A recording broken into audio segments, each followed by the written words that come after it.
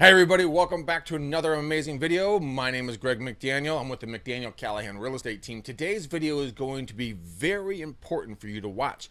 If you can't sell your home, so we're going to talk about the five things you can do if your property isn't selling.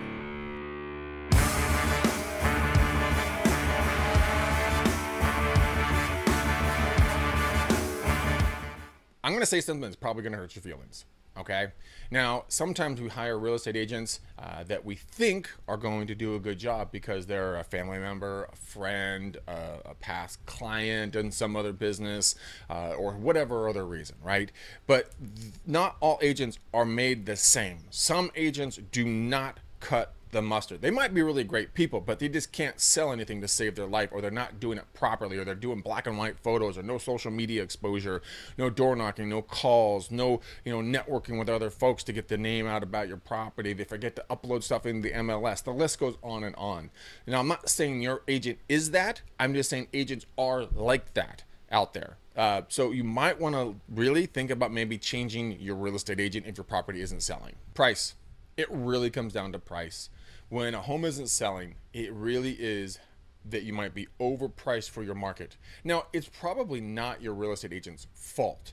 It, they're going off of the comps, and the market can shift like that, and you don't even know what's happened. So, if your home isn't making the move as fast as you'd like it to, go in, take a look at the comparables, make an immediate shift and that will help get your property sold. Now, it isn't it should not be an ego thing when it comes to selling. It's a straight business transaction. And I know you want to get more than Bob down the street. I get it. But if it's a you need to sell, then make the price adjustment. If it's that you want to sell but don't need to sell, maybe pull your home off the market and wait a little while. Marketing. That is a huge thing to get your home exposed. A lot of times sellers don't really know all the work us agents do. But there's there's online, there's offline, there's networking, there's social media, there's a myriad of different things. And one of the big factors that needs to take place in, when it comes to selling your home is video a lot of folks don't know that you can go to Zillow and you can shoot a two minute silent video of your home, which then will give context to the photos so people can feel the flow of your home.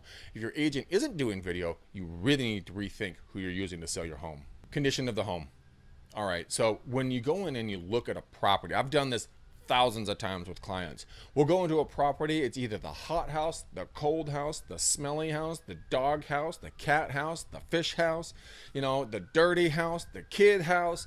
It's all these subconscious things that impact a buyer's psyche. So when you're selling your home, you really need to make sure that your home is clean, it's tidy, it smells good, uh, the dog hair isn't everywhere, the cat litter isn't spilled all over the carpet. You want to make sure that it's tidy and clean because the senses are going to put memories in into people's mind. If it's a freezing house or if it's a super hot house, people will be automatically turned off. And if it's a smelly house and a too hot or too cold, forget it. You're already dead in the water. So make sure your home is the type of home you'd want to walk into if you were the buyer. To round out the list of five things, if your home is just not selling and you've changed your agents, you've reduced the price, you've cleaned up the property, and it's just still not moving, guys, here's the cold hard fact. Maybe it's just not your time to sell.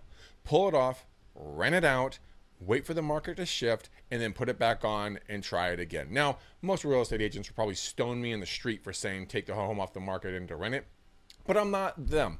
My interest is in you. My interest is in what your life needs. If you need to sell it, we'll take action. If you guys just want to sell it and you don't need the money, pull it off and we'll put it back on when the time is right. My name is Greg McDaniel. I'm with the McDaniel Callahan Real Estate Team. If you have any questions about real estate, buying, selling, renting, or investing, give me a call on this number, bloop, bloop, right there. Until then, guys, have a great day, and I'll see you on the next video.